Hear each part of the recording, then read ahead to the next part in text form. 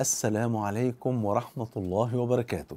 بسم الله والحمد لله والصلاة والسلام على حبيبنا وأسوتنا وقدوتنا وشفيعنا رسول الله صلى الله عليه وآله وسلم.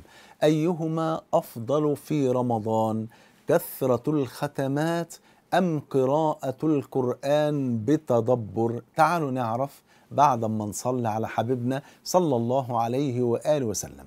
اختلف السلف في ذلك على قولين كما نقل ذلك الإمام ابن القيم رحمه الله رحمة واسعة. القول الأول وهو آه أنه ذهب ابن مسعود وابن عباس وغيرهما من الصحابة رضي الله عنهم بأن الترتيل والتدبر مع قلة القراءة أفضل. من سرعة القراءة مع كثرتها. يعني قالوا إن القراءة بتأني وتدبر أفضل من إن إحنا نقرأ عدد كبير من السور أو من الآيات أو من الأجزاء بلا تدبر. واضح كده؟ قالوا لأن المقصود من القراءة هو الفهم والتدبر والعمل بالقرآن.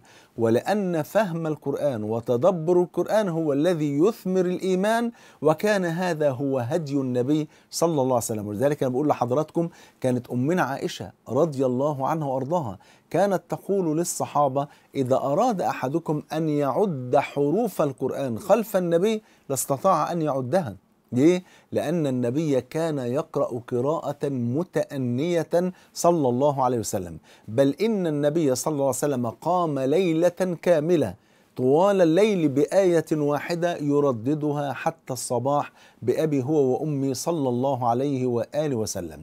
ده يبقى المذهب الأولاني مذهب ابن مسعود وابن عباس رضي الله عنهما وغيرهما من الصحابة إلى أن الترتيل والتدبر من القرآن أو أفضل يعني أفضل من إيه؟ من سرعة القراءة في القرآن، يبقى القراءة بتدبر وترتيل أفضل من إيه؟ من كثرة القراءة بلا تدبر ولا ترتيل.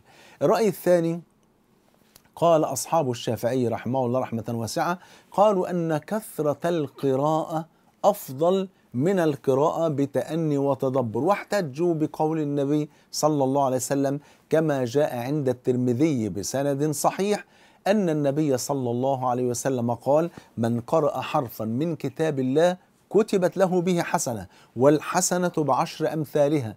لا أقول ألف لام ميم حرف ولكن ألف حرف ولام حرف وميم حرف.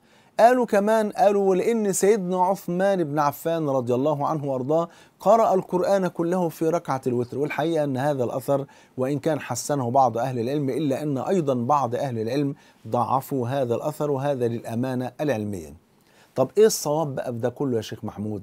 أهو اتعرض الرأيين أهو في رأي بيقول لا القراءة بتأني وتدبر أفضل والرأي الثاني بيقول لا القراءة بكثرة أفضل عشان نعد عدد كبير من الحسنات. إيه الصواب في هذه المسألة؟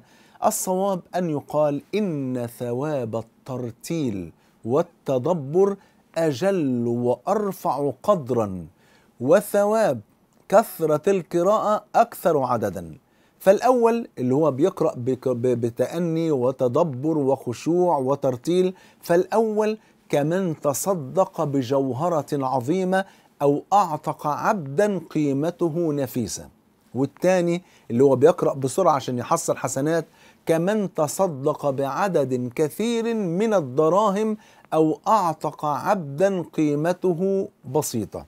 ومن جانب آخر فإن القراءة الهادئة المرتلة بفهم وتأثر تزيد الإيمان في قلب العبد. خدوا بالكم بقى وتولد بداخل العبد طاقة وقوة دافعة للقيام بأعمال صالحة أخرى. فيترتب على القيام بالأعمال الصالحة الأخرى إن إحنا نفوز بالكثير من الأجر والثواب.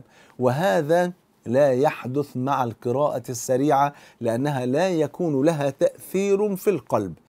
فقراءة آية واحدة بتفكر وتأني وتدبر أفضل من ختمة كاملة بغير تدبر ولا تفهم بل إن القراءة بتدبر وتفهم وترتيل أنفع للقلب وأدعى لتذوق حلاوة الإيمان.